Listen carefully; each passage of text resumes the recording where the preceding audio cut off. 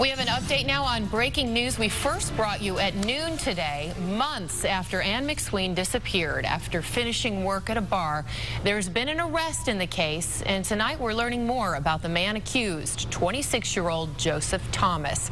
Police are keeping quiet about this arrest, but people who know the suspect are talking to News Channel 5's Dan Haggerty. Dan, what are they telling you? Well, today was the first that we've heard about this suspect, so we went to his neighborhood, and according to his neighbors and his landlord, though, Police have been asking questions about Joseph Thomas for months. It was Thanksgiving morning last year when 49-year-old mother Ann McSween was found dead, beaten and stabbed behind the local bar where she worked. Now, more than six months later, police have their suspect, 26-year-old Joseph Thomas. And according to Susan Gorsha, he stayed here. He this is where he lived, in her house. The police took it all. They took everything? Yes.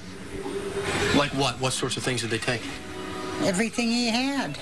Everything. Gorsha says she let Thomas live here in exchange for household chores and says he was a friend of her daughter. She also told me police investigated Thomas for months and stopped by often. What did they say to you about why they were here? They just wanted to uh, to look at things. And talk to him?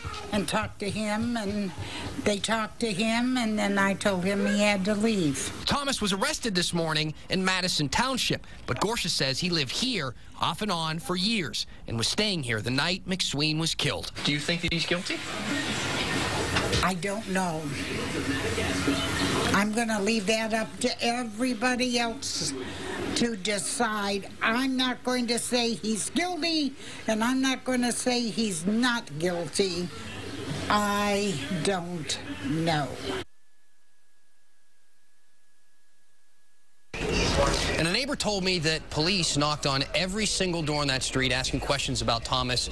But when the police started showing up, neighbors saw less and less of Joseph Thomas. He's scheduled to be arraigned tomorrow morning. Reporting live, I'm Dan Haggerty, News Channel 5. Dan, this still seems like such a mystery. Do you know anything about a motive or police saying anything about that? Well, that's the big question. Hopefully we can get some more information like that from police following tomorrow's court hearing. I did talk to the chief today, though, and he says that he doesn't want to compromise this investigation. Understandable. All right. Thank you, Dan.